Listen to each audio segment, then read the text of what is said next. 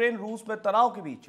राष्ट्रपति Vladimir Putin ने सैन्य कार्रवाई का आदेश दे दिया है। पुतिन ने कहा कि यूक्रेन की सेना हथियार डालते इसके बाद यूक्रेन के अलग अलग शहरों से लगातार धमाके की खबरें आ रही हैं। एएफपी की रिपोर्ट के मुताबिक पुतिन ने यूक्रेन पर सैन्य कार्रवाई का आदेश देते हुए कहा कि रूस का कब्जा करने का कोई इरादा नहीं है, लेकिन अगर कोई बाहरी खतरा होता है तो उसका फ़ौरन जवाब दिया जाएगा। इसके साथ ही रूस ने यूक्रेन से लगी सीमा के पास करीब दो लाख जवानों को तैनात किया है।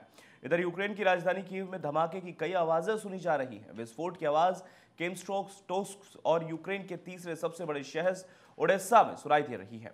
पुतिन ने कहा कि जो कोई भी हमारे साथ हस्तक्षेप करने की कोशिश करता है या हमारे लोगों के लिए खतरा पैदा करने की कोशिश करता है उसे पता होना चाहिए कि रूस की प्रतिक्रिया तत्काल होगी और आपको ऐसे परिणामों की ओर ले जाएगी जैसा आपने अपने इतिहास में पहले कभी नहीं सोचा होगा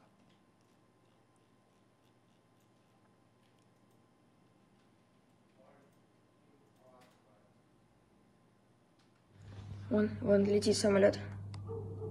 Вы сейчас послушайте звук. Через закрытое окно. Улетел. Вон еще один. Блин, за домом. За домом. Да. Вон, вон. вон.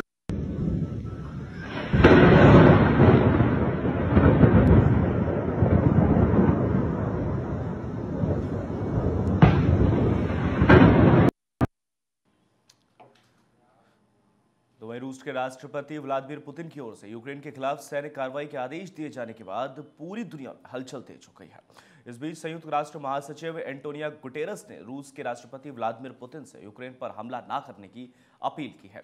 गुटेरस ने रूस यूक्रेन संकट पर तीन दिनों में सुरक्षा परिषद की दूसरी आपात बैठक के दौरान कहा कि राष्ट्रपति पुतिन अपने सैनिकों को यूक्रेन पर हमला करने से रोकें। उन्होंने कहा कि दुनिया में शांति ज़रूरी है, क्योंकि बहुत सारे लोग इससे पहले ही मारे जा चुके हैं। इससे पहले संयुक्त राष्ट्र महासचिव एंटोनियो गुटेरस ने चेतावनी दी थी कि दुनिया हाल के दिनों में अभूतपूर्व संकट का सामना कर रही है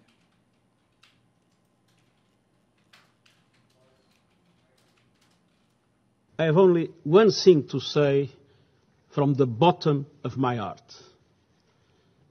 President Putin, stop your troops from attacking the Ukraine. Give peace a chance. Too many people have already died.